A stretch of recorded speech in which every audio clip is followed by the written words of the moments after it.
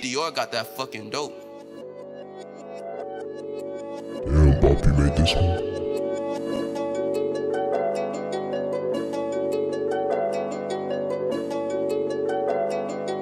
Damn, Boppy made this one?